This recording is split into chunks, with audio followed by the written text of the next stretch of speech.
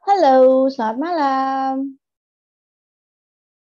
Selamat malam, Miss. Selamat malam, Miss. Oke, apa kabar semuanya? Baik, Alhamdulillah. Oke, alhamdulillah. Baik, alhamdulillah. Structure kita akan mulai dengan yang A. Hari ini kita ke simple sentence aja.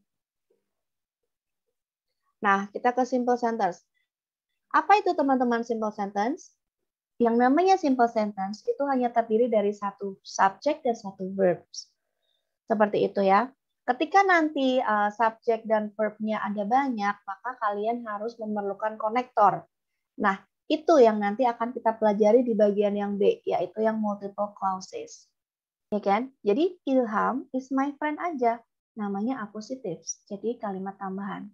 Apositif itu boleh ada di tengah, boleh ada di depan kalimat.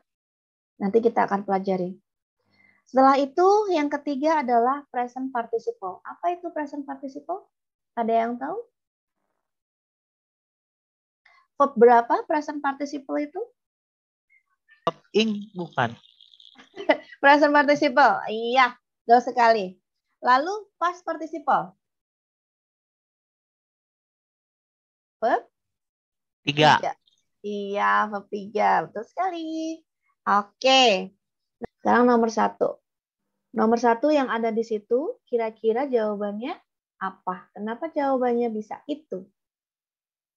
Nah, ini kita sudah punya verb, ya kan? Berarti kita tinggal cari apa? Tinggal kita cari, iya, tinggal kita cari subjeknya. Coba dilihat.